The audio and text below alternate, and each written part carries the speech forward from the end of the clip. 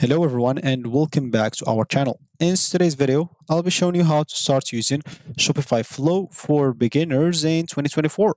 So today we're going to explore Shopify Flow, which is an automation tool designed to help you streamline your business operations and save time, whether you're managing inventory, processing orders, or engaging with customers. Shopify Flow can automate repetitive tasks and enhance your store efficiency.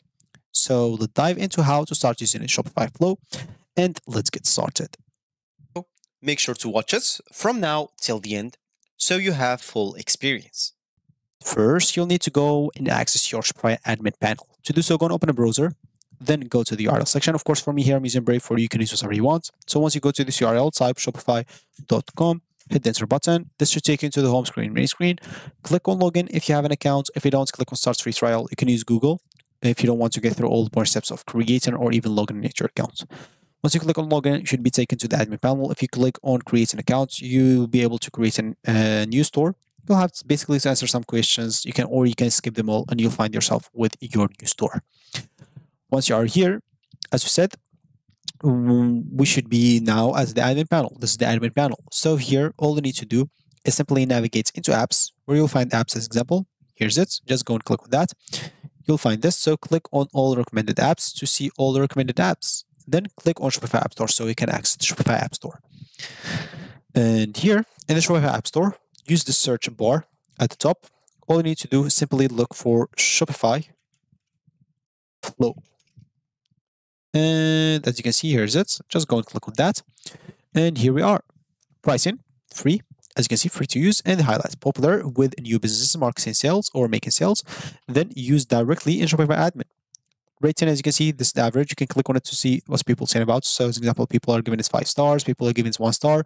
So, even one star, like Shopify are replying to it, like as example, they are trying to uh, understand what's happening and uh, help them maybe. So you can read like what's good about it, what's bad about it, if they respond well, if they uh, try to fix it, and etc.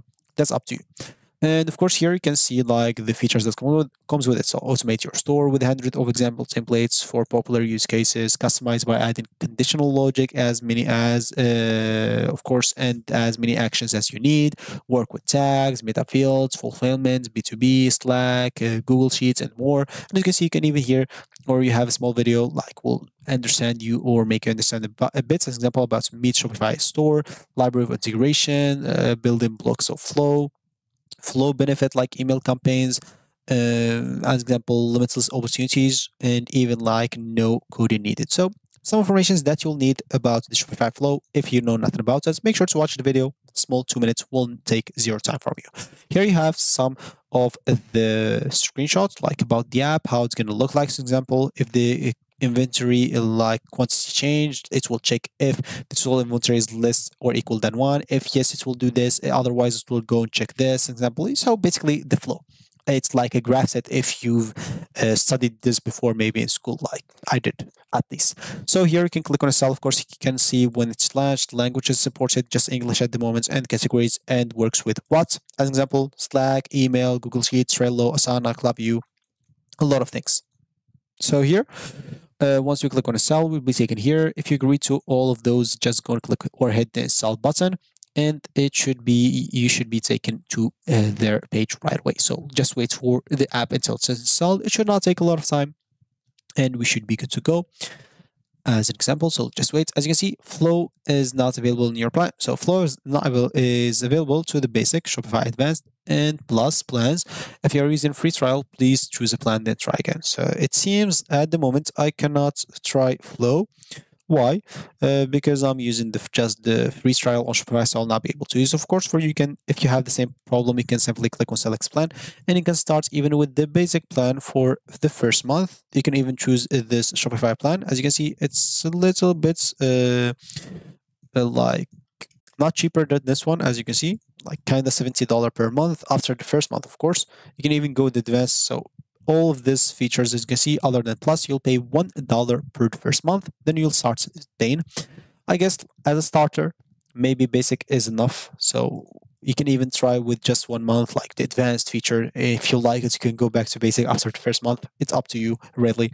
You can even try the post uh, can see free for one month. Then you'll have to start paying like eighty dollars per month, depending on whatever you want. You can even see here the full list of features that comes with this, depending on whatever you want, as we said. So, in order for me to explain a little bit how to start using it, as an example, I'll just go back to the screenshots uh, of it. So, as you can see in here. So basically, here you'll be able to choose actions, then conditions. Uh, all you need to do, of course, basically starts when, as you can see. So always use starts with starts when. So starts when, as example, the option here is order created. You can choose whatever you want, like orders created, products added, uh, new subscriber added, etc. There is a lot of options that you can choose. then, as example, once you start with this, you can simply check something like what if uh, if I add of course starts maybe with a new subscriber. So if this new subscriber example subscribe to the newsletter.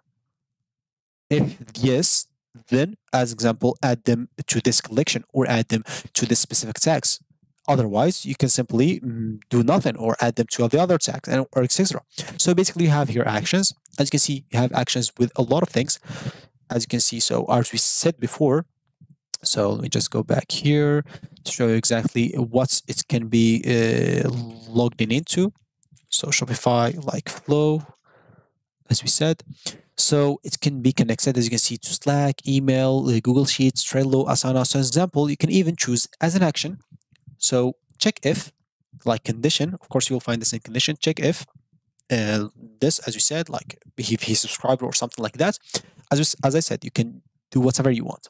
Do this. So maybe add a new sheets on Google Sheets, or maybe add something in Klaviyo, or maybe, as you can see, a lot of apps that you can connect to.